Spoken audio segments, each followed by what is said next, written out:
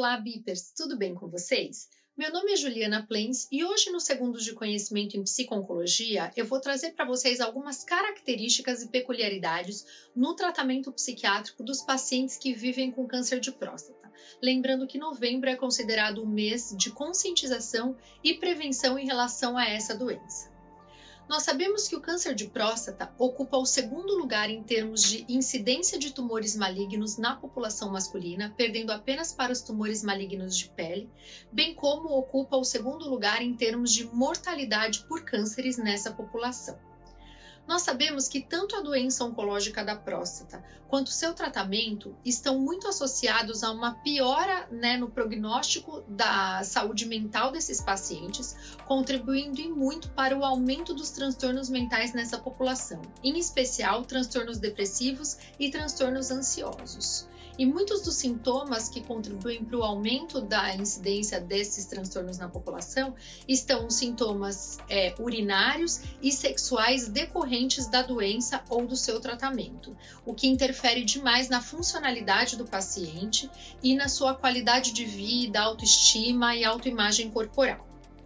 É muito importante quando a gente é, tem é, o contato com esses pacientes, que a gente faça um diagnóstico e um tratamento adequado dos transtornos mentais né, nessa população, uma vez que o não diagnóstico e tratamento é, adequados nessas pessoas contribuirão e muito para uma piora na qualidade de vida e aumento da mortalidade nessa população, não apenas pelas doenças, pelas doenças malignas em si, mas também por outras causas, dentre elas suicídio. E nós sabemos que existem alguns momentos, né, da doença ou do tratamento que são mais em que o paciente fica mais suscetível a apresentar transtornos mentais, como por exemplo, quando ele recebe o diagnóstico de câncer, quando um tratamento é iniciado, quando existe a falha de um tratamento ou a recorrência, a recidiva da doença, e quando esse paciente é encaminhado para cuidados finais de vidas ou cuidados paliativos. Então, esses são momentos muito críticos é, no tratamento desses pacientes. E é muito importante ressaltar também que quando a gente não institui um tratamento adequado, esse transtorno mental não tratado, ele funciona como um estressor crônico na vida desses pacientes, no organismo desses pacientes, e muitas vezes esse estresse crônico, ele vai interferir no microambiente tumoral, favorecendo, por exemplo, a proliferação celular, a angiogênese e a disseminação dessa doença, né, e portanto as metástases, e piorando muito o prognóstico desses pacientes. Portanto, é muito importante que a gente é, institua um tratamento é, individualizado para cada pessoa